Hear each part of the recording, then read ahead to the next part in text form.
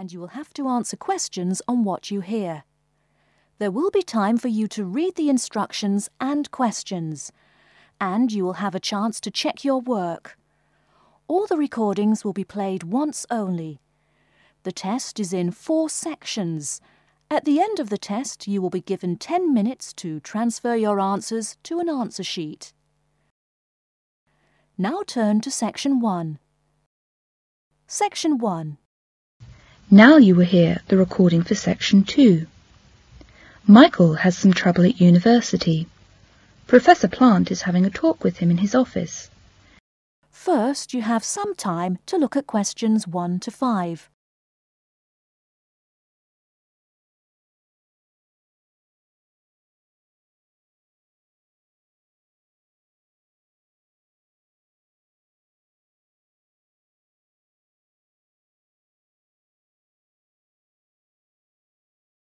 Come in, come in. Good morning, Professor Plant. I understand you wanted to see me. Yes, Michael, I did. It's about your coursework. My coursework? I'm afraid your tutor, Mr. Atkins, has reported to me that your standard of your work has been getting worse. I know, uh, Professor, I... He tells me that the essays you have done this term have been weak, and that your attendance at his tutorials and seminars has been poor. He has spoken to me about it, Professor. At this stage, Michael, your coursework is very important. I understand from Mr. Atkins that you are capable of an upper second, and it would be a pity to ruin your chances of a good degree, wouldn't it? Yes, it would. Michael, I think you should do two things. The first is to cut down on your union activities. I understand you do a lot in the student union. And the second is to see one of our welfare tutors to discuss any problems you may have. I'd like you to make an appointment to do that as soon as possible. All right, Professor. I'll expect to hear that your coursework has improved. Good morning, Michael. Good morning, Professor, and thank you. Michael is in the welfare office. Before you hear the rest of the conversation, you have some time to look at questions 6 to 10.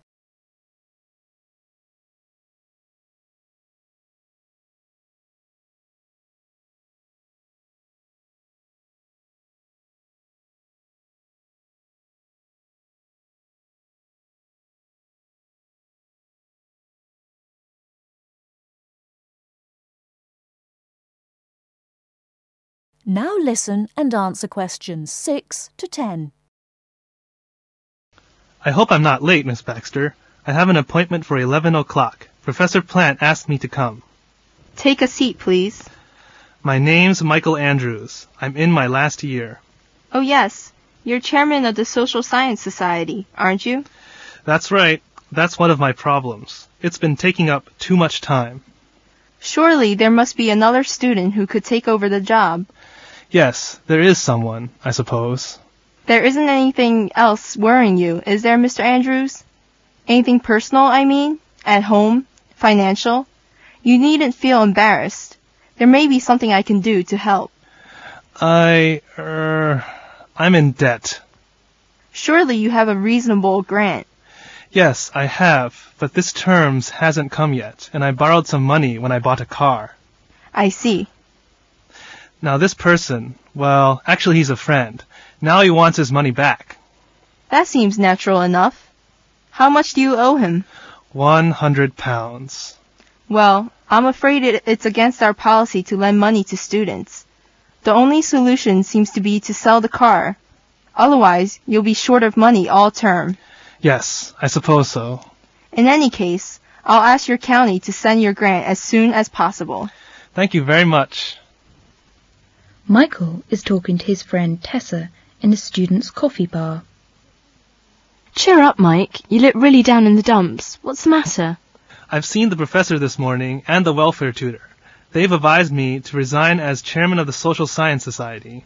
Resign? But you've done it so well. Yes, I know, but I can't get through my work, and I've got finals coming up. I intended to work really hard last vacation, but you know what happened. I suppose it is best to resign, Mike. Peter can take over. That's not all. There's a bigger blow. Money, I suppose. Well, I owe Jim a hundred pounds. What for? The car, was it? You are a fool, Mike. I can't see how an economist can be so silly about money. I'll just have to sell the car. Well, cheer up. You can always use my bike. That is the end of section one. You now have half a minute to check your answers.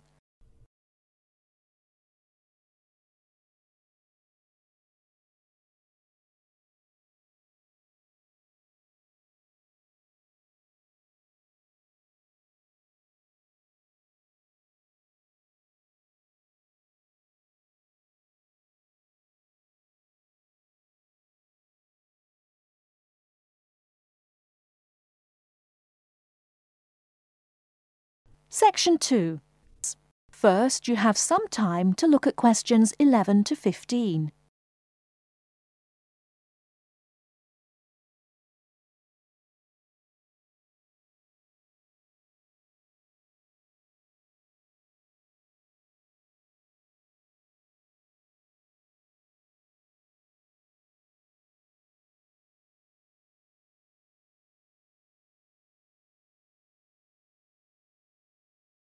Now, listen carefully and answer questions 11 to 15.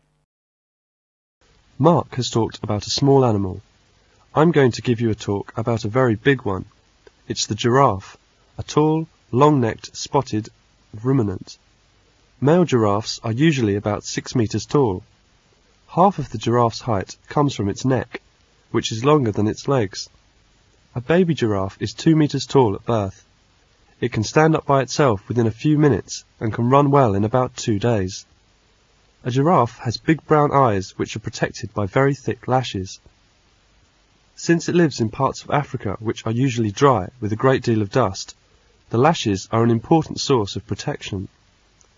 It can also cover its nostrils in order to protect its nose. It has two short horns on its head.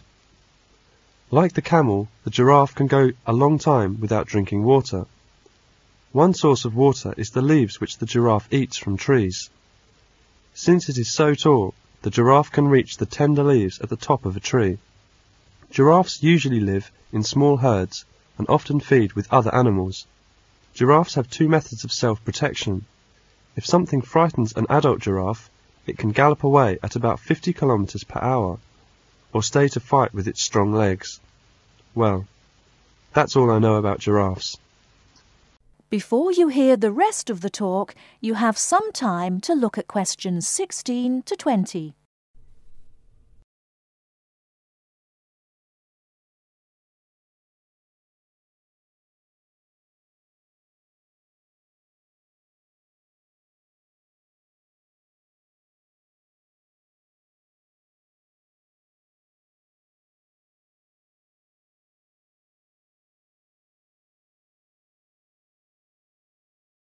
Now listen and answer questions 16 to 20.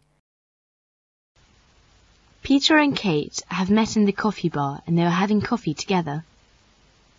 Hi there, how are you going with your tutorial next week? Oh, good. I've decided to talk about paper and its use. Fascinating, I'm sure.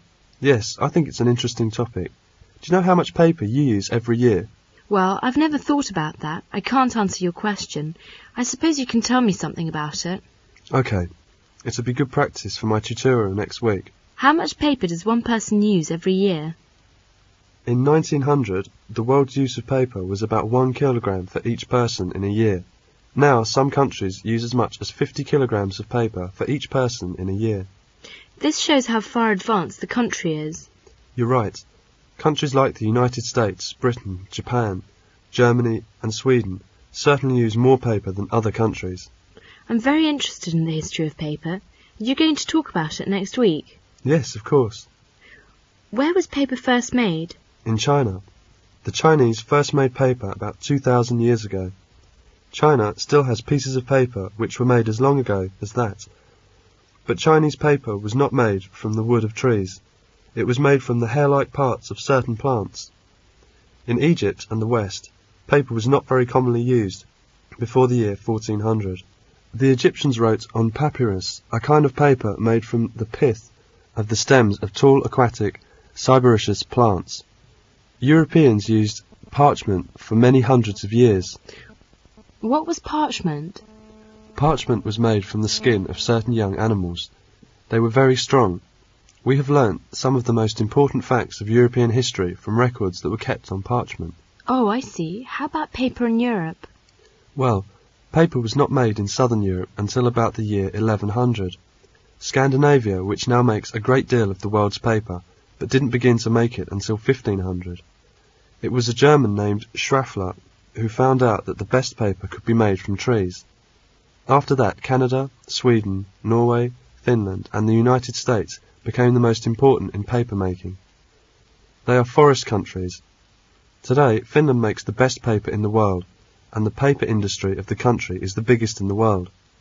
New paper making machines are very big, and they make paper very fast. The biggest machines can make a piece of paper 300 meters long and 6 meters wide in one minute. Oh my goodness, that's amusing. What are the uses of paper?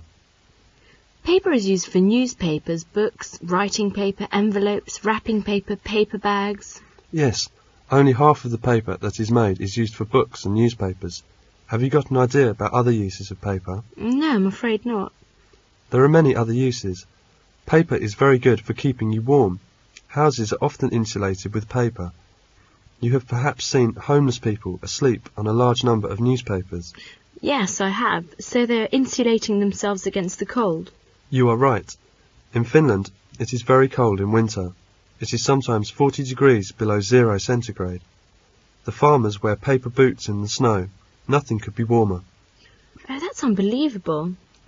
Now more and more things are made of paper. We have had paper plates, cups and dishes for a long time. But now we hear that chairs, tables and even beds can be made of paper. With paper boots and shoes, you can wear paper hats, paper dresses and paper raincoats. When you have used them once, you throw them away and buy new ones. You know, the latest in paper seems to be paper houses. These are not small houses for children to play in, but real, big houses for people to live in.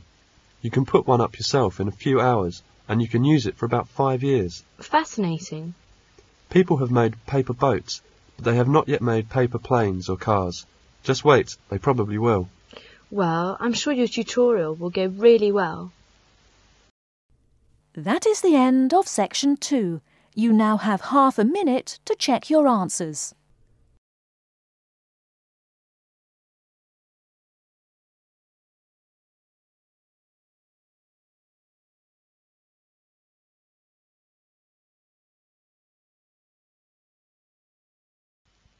Now turn to section 3. Section 3. In this section, you will hear two talks about London's parks and some interesting places. Look at the forms and fill the missing information in the correct boxes. Look at questions 21 to 33. Note the examples that have been done for you.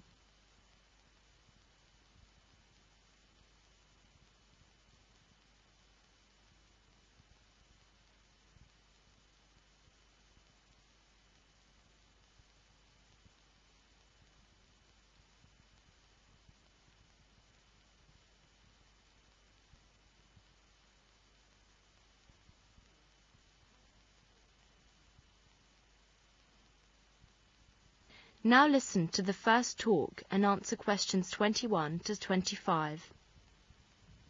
Here are some figures for the number of tourists visiting the royal parks. The royal parks are the property of the Crown and were originally the grounds of royal homes or palaces. In central London, these include Hyde Park, originally a hunting forest belonging to Henry VIII. It now consists of 340 acres of trees and grass intersected by paths, with boating and swimming on the Serpentine Lake, and horse riding in Rotten Row. Hyde Park is one of the most popular attractions. In 1990, almost 20,000 people visited the park.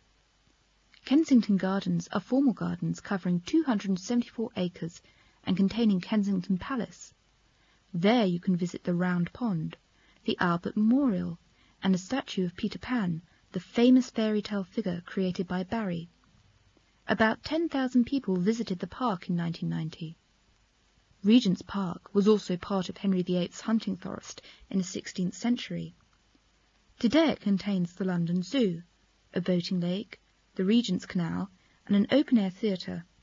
It is one of the most popular attractions with over 25,000 visitors each year. The number of visitors to Regent's Park increased after a children's zoo was opened, resulting in a sharp rise from 25,000 to 32,000 in 1990. Now listen to the second talk and answer questions 26 to 33. Tick the relevant boxes in each column. First, look at questions 26 to 33.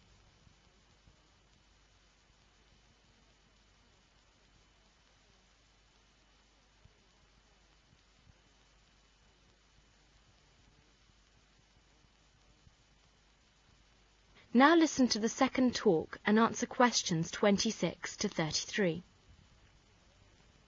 There is so much to see and do in London.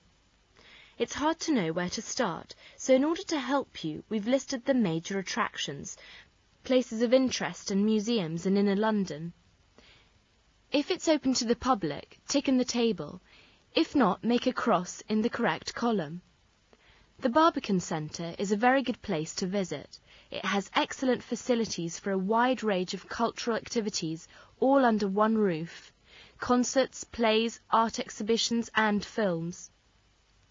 Home of the world-famous London Symphony Orchestra and the Royal Shakespeare Company, it also offers informal events and performances at lunchtime, early evening and at weekends. It is open from 9 o'clock in the morning until 11 o'clock at night. Mondays to Saturdays from noon to 11 p.m. Sundays and public holidays.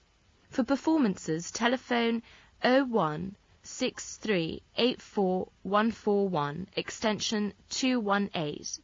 The underground stations are Moorgate and Barbican. Madame Tussauds is the place where wax figures of famous and infamous people can be found. It is open daily from 9 a.m to 5.30 p.m., including weekends. The underground station is Baker Street. St. James's Palace is at the corner of St. James's Street and Pall Mall.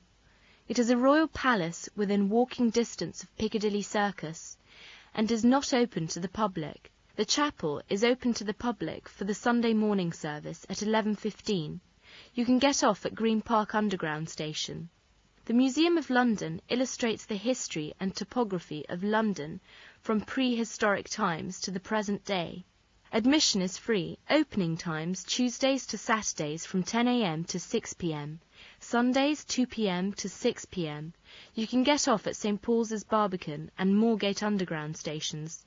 Buckingham Palace is the London home of the Queen. When the Queen is in residence, the royal standard is flown from the flagstaff. It is generally not open to the public, however, visitors are admitted to the Queen's Gallery. The underground stations are Victoria, St James's Park and Green Park. You are welcome to London and we hope you have an enjoyable time here. Thank you. That's the end of section 3. You now have half a minute to check your answers.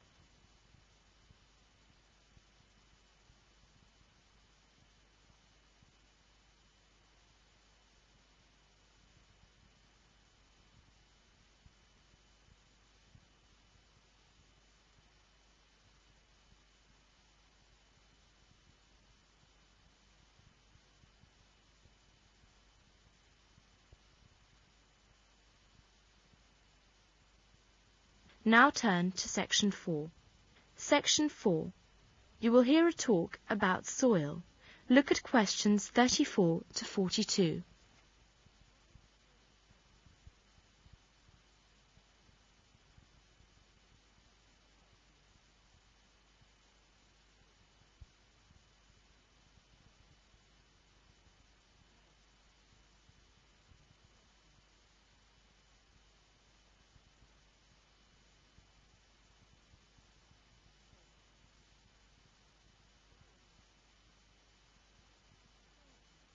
Now listen to the talk and answer questions 34 to 42. Hello, and welcome to today's lecture. Today we turn our attention to the soil. As you know, soil is made up of stones, sand, clay and loam. It also contains air and water. Stones are small pieces of rock. They are larger than the other parts of soil. The stones in the soil are of all shapes and sizes.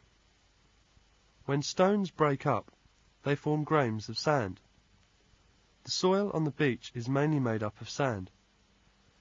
Since the grains of sand are quite big, there are many large spaces between them. Air is found in most of these spaces.